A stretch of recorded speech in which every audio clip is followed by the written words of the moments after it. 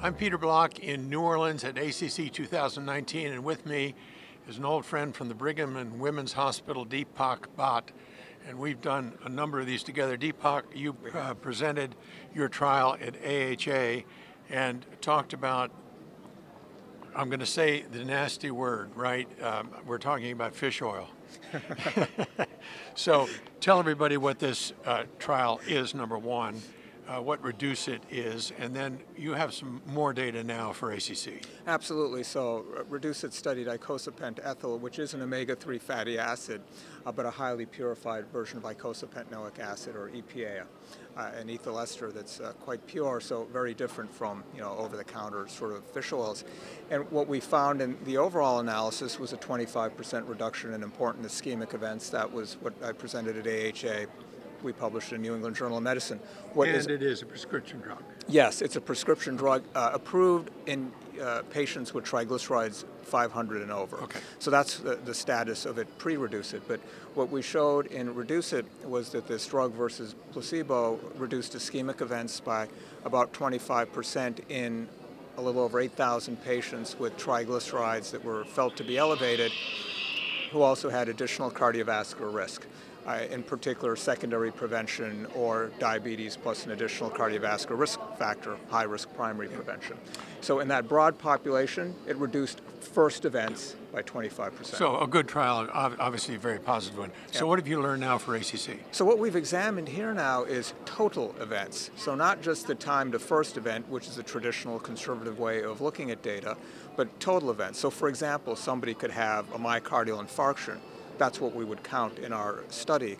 But that same person could go on and have a stroke, maybe a fatal stroke, a year, two years later.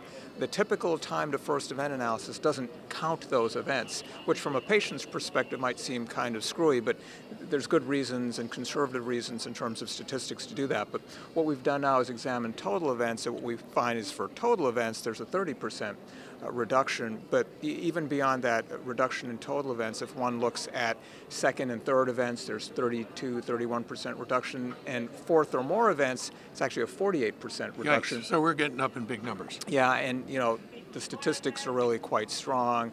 Uh, depending, we, we, did multiple uh, ways of looking at recurrent events, but you know, p-values from anywhere from 10 to the minus 10 to 10 to the minus 21. So, Deepak, Pretty significant. let me interrupt.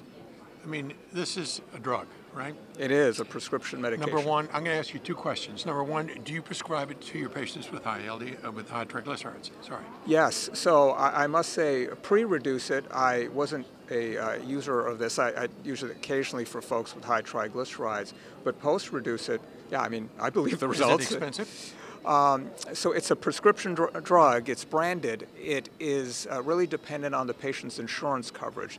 So for the folks that have elevated triglycerides where I've used it in the past, ones that have insurance coverage, the copay is like 30 bucks a year or something, oh, approximately.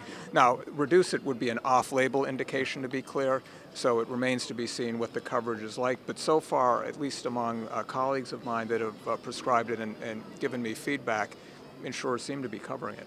Do you take it?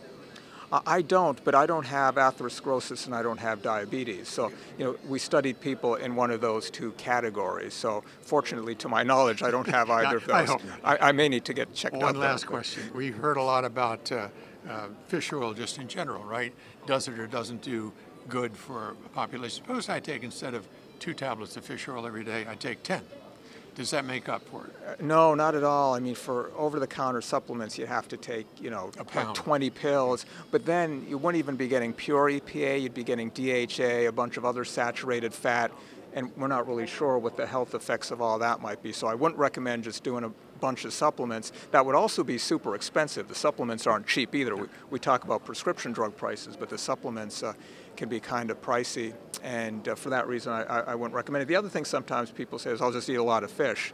And, uh, you know, fish does have uh, EPA in it, but you'd have to have, you know, like over 20 servings a week to get these and levels of EPA. get mercury poisoning. Yeah, there's other bad stuff okay. that could happen. So right. for everybody out there, uh, this drug, prescription drug, clearly is doing its good stuff, right? I think and so. And I think probably for patients with uh, atherosclerotic disease, we're going to see a lot more patients being prescribed this. Thanks so much, Deepak. Thank you.